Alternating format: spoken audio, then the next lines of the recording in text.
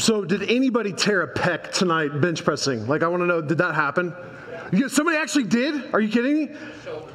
Oh, you told, all right. No, that's not bad either, right? No, guys, like, uh, I got to tell you, man, this is great to be here. I've been looking forward to this for quite a while for, man, a number of reasons. Number one, I love your pastor. Like Nathan is a great friend of mine. Uh, dude, every time I'm with him, I feel like I'm better. Um, I hope you know how much of a real deal he actually is. Like he's great in this setting, but I see him in closed uh, behind closed doors when there's nobody else around. His integrity and his love for Jesus is through the roof. I hope you realize how blessed you are to have him, because you really are. You very much are. If I lived here, I'd follow Nathan, no question.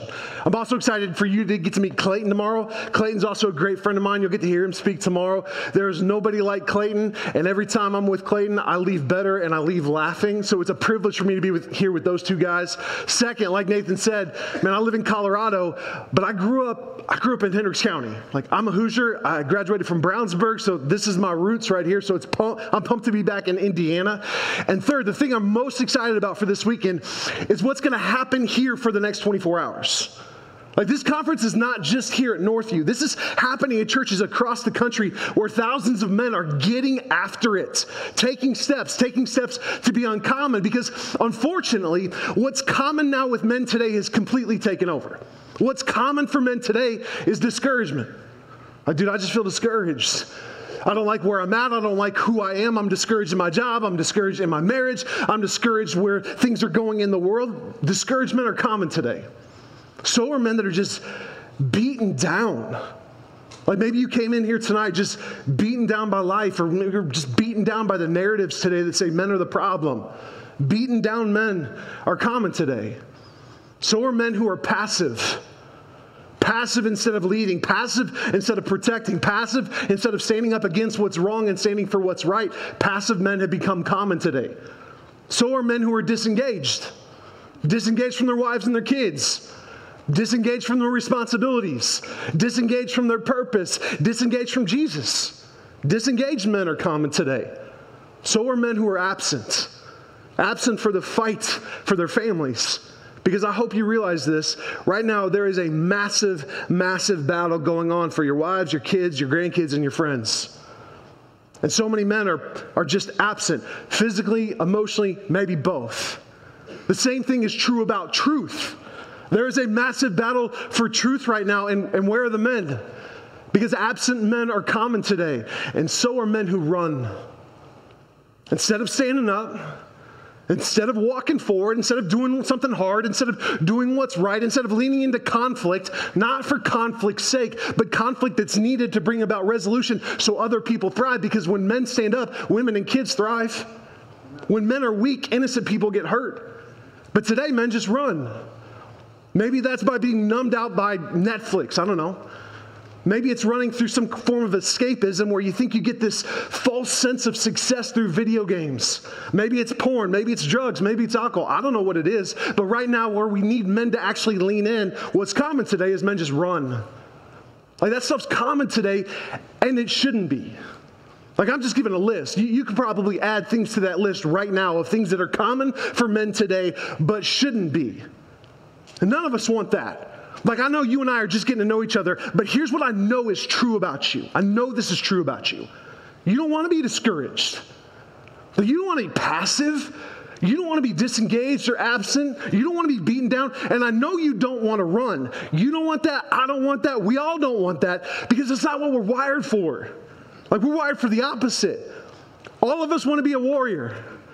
All of us want to be in a fight for something that actually matters. Like all of us want to be a protector. All of us want to be strong. All of us want to be a man that can be counted on. There's a reason we've all pictured ourselves with our faces painted blue, wearing a kilt, charging a battlefield. Don't act like I'm the only one that hasn't thought of myself that way. You have too. Man, we've all thought about, hey, how would I do on Omaha Beach? Would I make it through the bullets? Would I get to punch some Nazi in the face? We've all thought about what would it be like to run into a burning building to pull as many people out as we possibly can. Something like that because men were meant to be protectors. Men were meant to be leaders, meant to be encouragers, equippers. Men are meant to be liberators. But unfortunately, that's uncommon today. But you and I can change that. There's a guy who's a great example of this, fantastic example of this. This dude was a straight up warrior, courageous leader, did some insane things, liberated his people from some, some pretty serious oppression. But it didn't start that way at all. Like usually we think about, hey, we just see the end product, and man, I'm not like that, but no, that's not how the story starts at all. This guy's name is Gideon. And we're going to look at Gideon throughout this conference. But before we can get to Gideon's story, we actually have to go backwards and start before his story. Judges 21 sets this up perfectly. It gives the context almost perfectly. It says, In those days, there was no king in Israel, and everybody did what was right in his own eyes. Is that not our context today, too? Everyone doing what's right in their own eyes.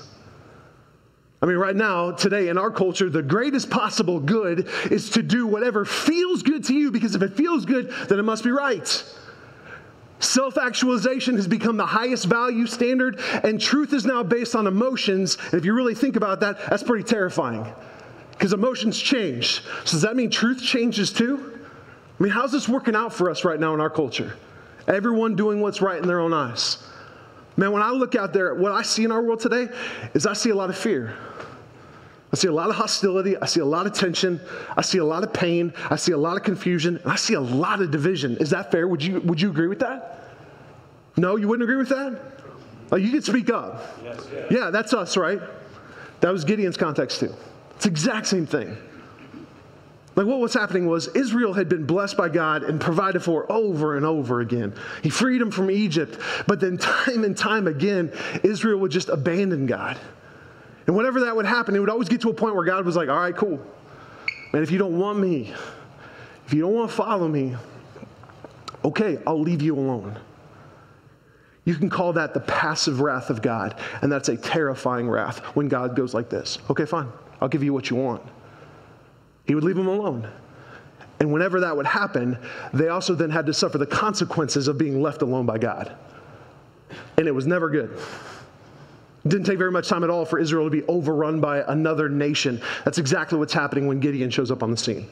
The Midianites had been oppressing and overpowering Israel for seven years. Like it gotten so bad, they would just raid Israel over and over again. They would steal their livestock, they would steal their crops, mainly wheat. And if you live in the middle of an agrarian economy, that's bad news. They would steal, they would raid, they would kill the men, they would assault the women. It got so bad that not only was Israel hiding any food that they had, then they started to live in caves so they could hide themselves. Like, imagine this. Imagine if the Taliban overpowered us. Well, Matt, I don't, I don't know if that's really accurate or that could actually happen. I don't think that's in the cards either, but neither did Israel. Like, if, if the Taliban was the controlling force here, we would hide our valuables, wouldn't we? We'd hide our wives and our kids. We would not live in our neighborhoods anymore. We'd go, we'd go hide in the woods. If we're out where I live, we'd go hide in the mountains. If the Taliban was the controlling force here, they would steal, they would raid, they would rape, and they would kill. Imagine what that would be like here. That's what was going on in Israel. All the stuff that happened on October 7th last year, that's not too different than the context that Gideon was living in. That's not too different from what Judges 6 looked like. Like, here's the story. Then the angel of the Lord came and sat beneath the great tree of Ophrah, which belonged to Joash from the clan of Ebenezer. That's not how you say it, but if you ever don't know how to say a name in Scripture, say it loud, fast, and confident. Everybody will think you got it right, okay? Gideon, son of Joash, was threshing wheat at the bottom of a winepress to hide, to hide the grain from the Midianites. The angel of the Lord appeared to him and said, Mighty hero, the Lord is with you. Sir, Gideon replied, if the Lord is with us, then why has all this happened to us? And where are all the miracles our ancestors told us about? Didn't they say, The Lord brought us up out of Egypt, but now the Lord has abandoned us? He handed us over to the Midianites. Then the Lord turned to him and said, Go with the strength that you have and rescue Israel from the Midianites. I am sending you. But Lord, Gideon replied, How can I rescue Israel? My clan is the weakest in the whole tribe of Manasseh, and I'm the least in my entire family. Then the Lord said to him, I will be with you. I will be with you. And you will destroy the Midianites as if you were fighting against one man. That's a big call. mighty hero. Some translations actually say mighty man of valor. Go with the strength that God has given you. Go with the strength that you have. Go rescue your people. Go rescue Israel. And to hear that, that's kind of awesome. Right? If somebody came to you, if God came to you and said, Hey, I want you to go rescue the United States from the Taliban, you, Matt, go. The Taliban, go take care of them. I mean, that'd be, that'd be pretty awesome. Like, I think all of us would be fired up to an extent, and then we would pause and start to let that sink in, and I think we would start to freak out. Wait, wait, hold up. You want me to do what? I, I, don't have the strength for that. I, I don't have the, the skill set or the training. You need to talk to my buddy. He's an ex Navy SEAL. That's the guy that you want. That's what Gideon thought. He thought he was weak and unusable because he was comparing himself to the world standards. Gideon was no William Wallace. He was no John Wick. He says, I'm weak, I'm unusable because look at everybody else. The, the clan that I'm from, the group of people you're talking to, is literally the weakest group you could talk to. And then in that group, I'm the lowest dude on the totem pole. But that's not the way God sees things. In 1 Samuel 16, God says, The Lord sees differently than you do. People look at outward appearances, the Lord looks at the heart. And that's where you find a real man. It has nothing to do with physical ability or strength or talent or your resume. A real man is found when you look at his real heart. But Gideon didn't get that.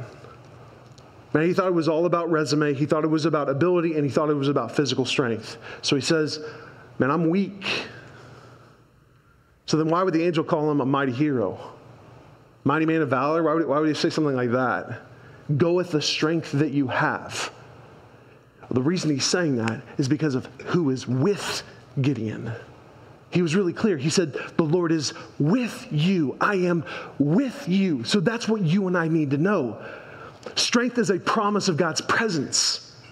That's what strength is. It's the promise of God's presence. That's the source of strength. So you got to ask yourself hey, who is the source of my strength? Am I the source of my own strength? Is it on me? And there's part of that that's kind of virtuous right? I need to get strong. I need to make myself stronger. I need to be stronger. There's some virtue in that. Like, you want to be physically stronger.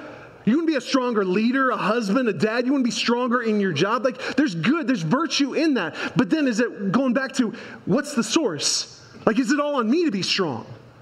Am I the source of my own strength? And if you are the source of your own strength, you will never be strong enough.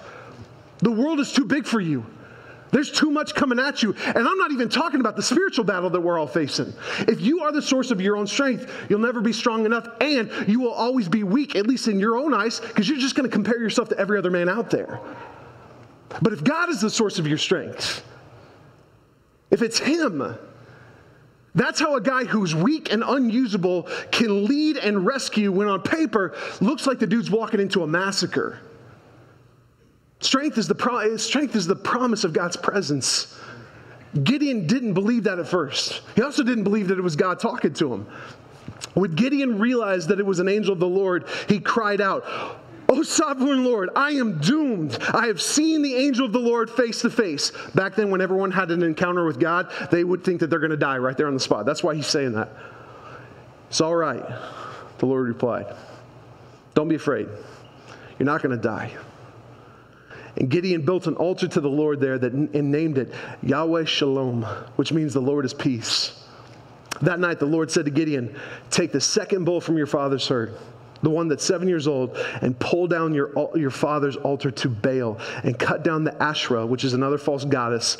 Cut down the Asherah poles standing beside it. What's interesting about that, the Canaanite false god for Baal, whenever they would cast Baal into an image, into a metal image, you know what the most probable thing that they would turn him into, that idol into? A bull. So go take the bulls to pull down the bull. God's mocking Baal right there. That's what he's doing. Then built an altar to the Lord your God. Here on the hilltop sanctuary, laying the stones carefully, sacrifice the bull as a burnt offering on the altar, using as fuel the wood of the Asherah pole that you cut down. So Gideon took 10 of his servants and he did as the Lord commanded. But he did it at night because he was afraid of the other members of his father's house and the people of the town. So here's where the rubber meets the road. This is what you and I have to know.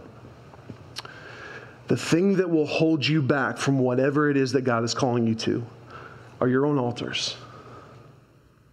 Like as a man, that's what will hold you back. Your own altars, whatever they are. Again, maybe you're in a spot right now where you're like, man, I'm ready. Man, I'm ready to go.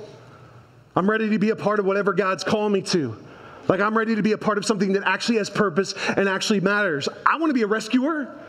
I want to rescue my family. I want to, I want to rescue the truth. I want to rescue purpose. I want to rescue people who are being taken advantage of. I want to rescue people who cannot rescue themselves. I'm ready to be a part of whatever it is that God is doing. That's why I signed up for this conference. Like, I'm ready to be a part of something that matters. And if that's what you're saying, I would say, that's awesome. Me too. But before God is ever going to work in you, and before He's ever going to use you in a way that all men want to be used, you got to tear down your altars. You have to. Before we're ever going to see any change around us. Because we would all agree that our world right now is pretty jacked up, is it not? Everybody doing what's right in their own eyes. Because of that, man, when I look out, I see more division than I have ever seen in my lifetime. I see that today. Today, I also see people constantly at each other's throats. Today, you see, man, a dominant ethic and a narrative that gives the middle finger to God's design for sexuality and gender that not only has become mainstream, but now it is pushed and celebrated in a way that is absolutely destroying individuals, marriages, families, and now kids, God forbid. Like today, I see things like every time you turn on the news, everyone's freaking out. What awful thing happened today? Today, you see fear about what's going to happen next. What's going to happen next with things like the economy. If you're in your 20s right now, how am I ever going to buy a house? Or fear what's happening next with global conflicts. What's going to happen with Israel and Hamas? What's going to happen with Russia and Ukraine? And then there's IU basketball. Dude, what's going on with my Hoosiers? All you Purdue people are like, ah, this is great, oh, that's great. Yeah, well, you know, you're going to be out in the first round of the tournament anyway, so. I'm just bitter, okay? We're not even gonna make the tournament. But the fact that IU basketball is in the state that it is in right now, I'm glad I live in Colorado so I don't have to deal with it right here in the present. But that shows that there is something messed up in our world right now. But whatever the issue is, like whatever it is, I think it's really easy for you and I to just start saying, man, why is this happening to us? That's what Gideon said. Why, why did this happen to us? Where, where are all the miracles at? But that's the wrong question that you and I need to be asking right now. Instead of asking, why is this happening to us, the question that you and I need to ask is, man, what altar do I need to tear down? I was talking to a guy that did some work with churches in India. India is a very polytheistic culture. And he said uh, when he went over there for the very first time, he saw idols, like actual physical statues. We're, we're talking Indiana Jones stuff. Saw that everywhere. Saw these statues, these idols everywhere. And people are praying to them. People are worshiping these statues, these idols. He saw it all over the place. And one of the nights he was there, he got to have dinner with this pastor who's from there and planted all kinds of churches all over that region. And they're talking at dinner, and he said, Hey, you know, have you ever been to the United States? And the Indian pastor was like, Yeah, yeah, actually, I have. I've, I've, been once and I really enjoyed myself. And he said, Well, tell me you didn't go just to Disney World in New York because there's more to the United States. And did you enjoy yourself? And, and the guy said, Yeah, man, I, I loved it. I really enjoyed myself. Oh, cool. Would you go back? And the Indian pastor said, Oh, no. No, I would never go back. And the, guy I was talking to was like, well, well, hold up. You just told me that you really enjoyed yourself, and now you're saying that you would never go back? Why not? And the Indian pastor said, because there's too many idols in America. Your idolatry is too much. Do we see that? Because the thing that will hold you back from whatever it is that God is calling you to are your own altars and your own idols. And the things that will keep us asking, hey, why is this happening in our culture? The things that will keep us asking that question are our own personal idols. So forget about talking about what's happening out there. Quit looking out there, looking at everybody else. Don't look at whatever Fox News tells you is the problem or what CNN tells you is the problem. Quit looking at Instagram or TikTok. Before we can ever look at altars out there, we got to look at altars right here first. Our altars are great at getting us to look outside of ourselves and saying, see, that's the problem over there. Everybody else, everything else, that's the problem. Don't look at what's happening to you. Don't look at how it's tearing you down. No, look out there. But we can't do that anymore. Our altars are great at blinding us to the fact that they are altars.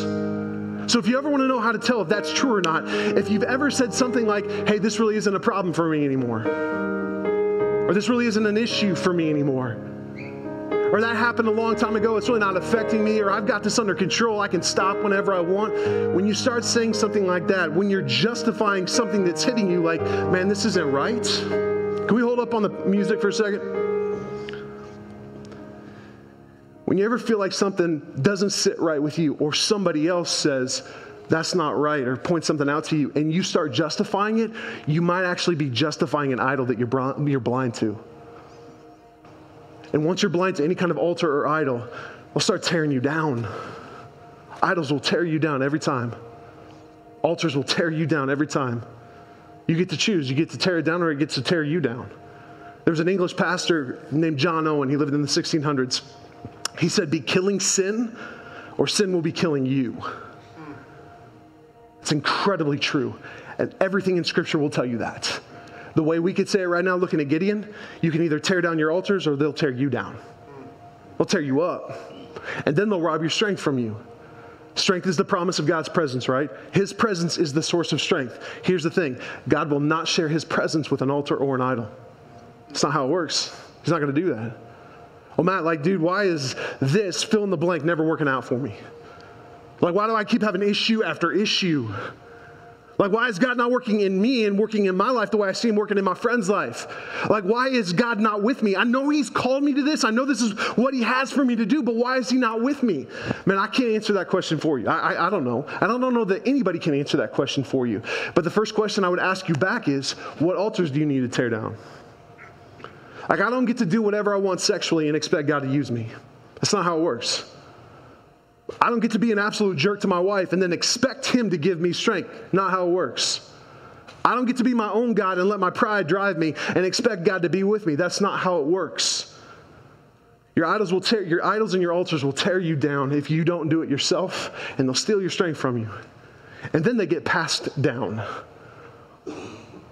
Gideon's dealing with his dad's altars. Altars get passed down a whole lot easier than faithfulness does. So you get two choices. It's this easy, it's this clear. Two choices. You can either tear your altars down or you can pass them down. You get to pick. And it's one thing for me to get torn up by my own altars. It's an entirely different thing for my boys to get torn up by the stuff I passed down to them because I wasn't man enough to tear them down in the first place. Yeah. I'm not okay with that as a dad. And I know you're not either. Like, we don't want to do that to our sons or our daughters. And maybe you got stuff passed down to you, generational stuff that's just destructive.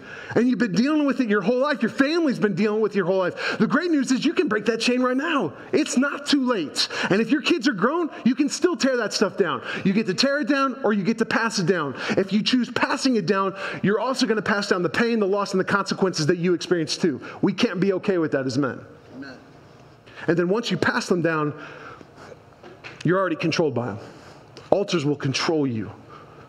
And it's really easy for you and I to think that, no, no, I got this under control. I got this. But that's how altars keep you under their control. They make you think that you're in the driver's seats.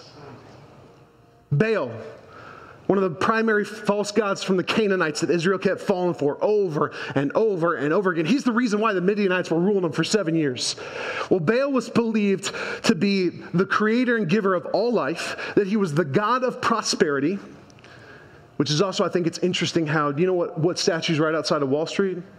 A bull. I don't know. He was also believed to have complete control over nature and over man. And that's partly, partially true. A false god, an idol, an altar will absolutely control you. Absolutely will, if you let it. That's why God tells Gideon, tear it down, bro. It's time to tear it down. So let's be real. What do you need to tear down right now? Like, what altar do you need to tear down? Because an uncommon man is honest with himself about where he's weak and what altars he needs to tear down. Man, common men will lie to themselves. So if you want to be common, go ahead, lie to yourself. Common men will justify altars that they have. So if you want to be common, justify away, go at it. Common men will be apathetic about the altars that they have, but an uncommon man will tear down the altars he has in his life. So, what is it for you? Like, what altars do you have? Is it, do you have an altar to pride? This is a really easy one to talk about with guys because we all wrestle with this one. Is pride your altar? Is that it? Pride is the, the rejection of God as God, and it puts you as God instead. If you pull back the, the layers of almost every sin, at the root, you're going to find pride. Sure, pride can be the whole dude walking into a room with his chest puffed out saying, Look at me, look at me, with all kinds of arrogance. That's pride.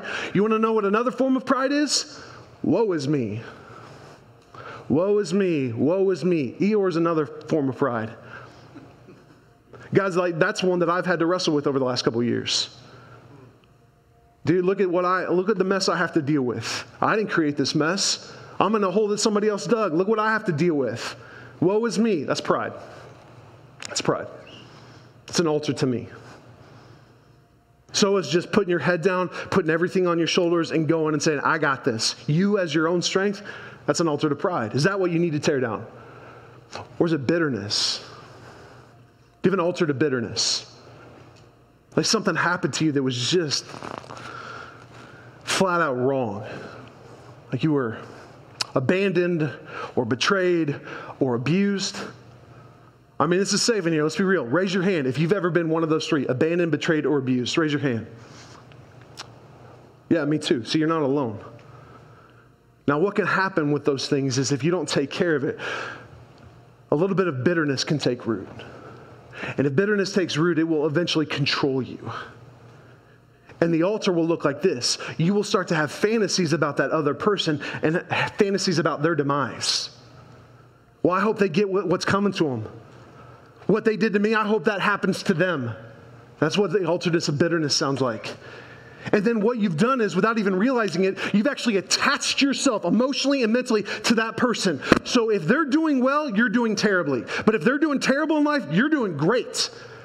You're on an emotional and mental roller coaster that is attached to somebody else. That's what an altar to bitterness will do.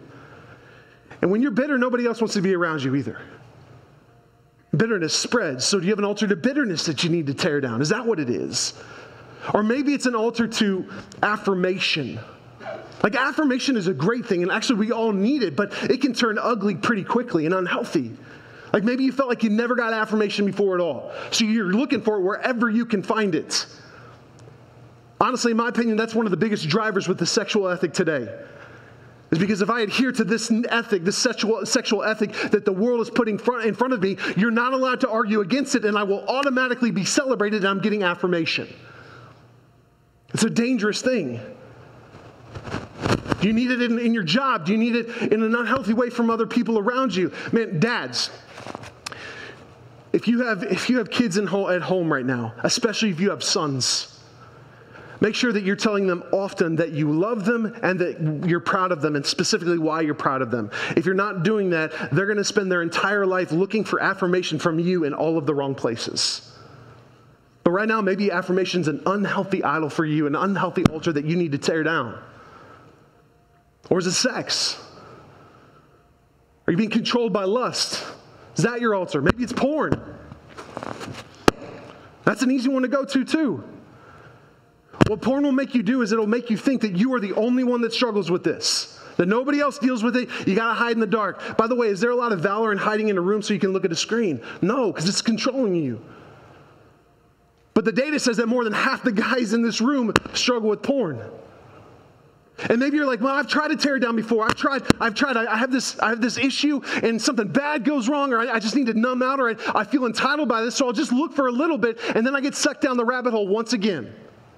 And I can't get out. Man, I've tried to tear that down. I get it, that's hard. But you know what Gideon did? He got 10 buddies. 10 dudes tore that altar down with him. Maybe you need to get some people to help you.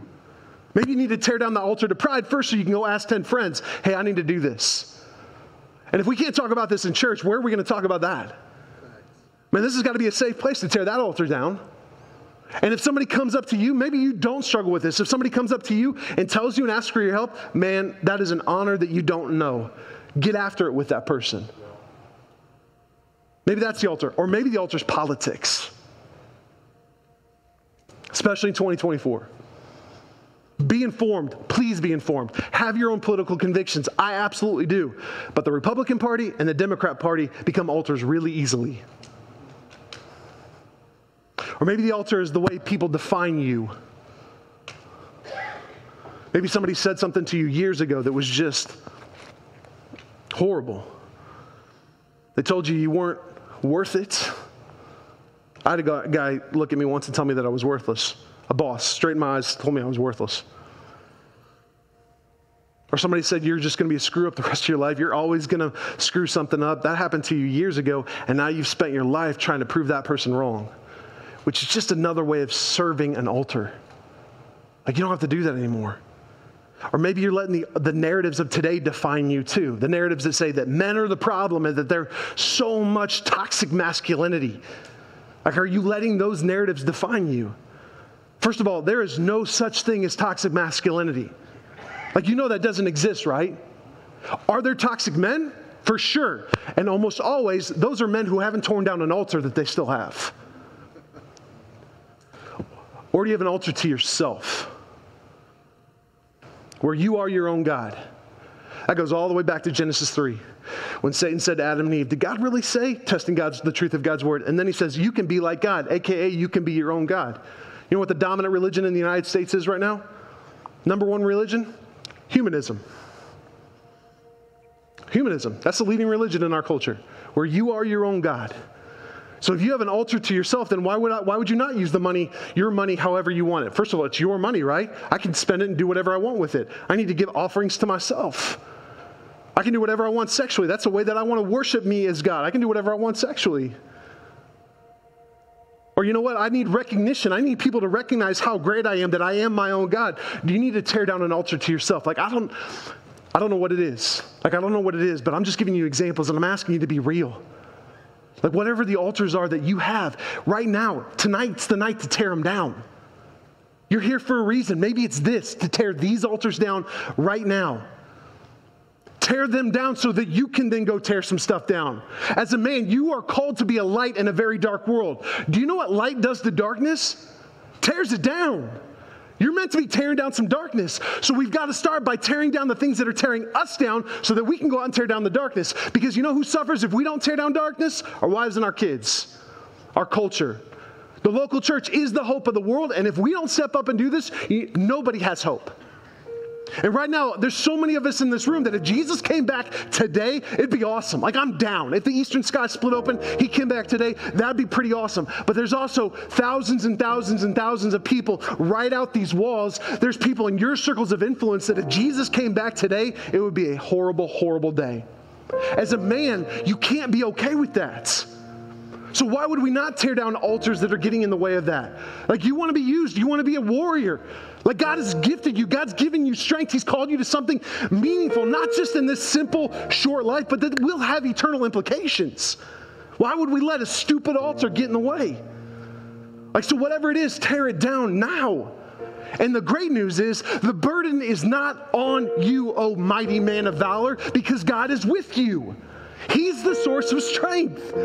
There is so much freedom from whatever sin or altar is controlling you. The battle has already been won. I've read the back of the book. We win in the end. It's awesome. So, whatever it is, you came here tonight, whatever it is, whatever that altar is, be honest with yourself and tear it down. You've got a paint stick sitting on your chair. Grab this and whatever marker there is right by it. If you don't have a marker in your chair, there's somebody else that's got one around you. Man, sometimes it's good to have this physically in our hand to see this. So what I want you to do is I want to I want you to write down that altar that's in your mind right now. Write it down on this paint stick. Take a second. Write it down. And then be a real man, flip it over and write the real thing down that you need to be writing down. And then when you're done writing that down, we're just going to break them. And when you do that, pray over it. And then I also want you to listen because there's going to be 200 other paint sticks in this room that are being cracked and broken at the same time. 200 other altars that are being broken by your brothers. You're not alone. And maybe you need to take this home tonight. You don't need to break it here. Maybe you need to take it home tonight with it written down in front of your wife, break it in front of her. That sounds good, doesn't it? You hear that? Break them. I don't have to control you anymore. Break it. Write it down and break it. And if you need another one, come up here and grab another one. Hear that sound. You're not alone. Oh, mighty man of valor, God is with you. God has given you strength. God has given you brothers. Let me pray for you.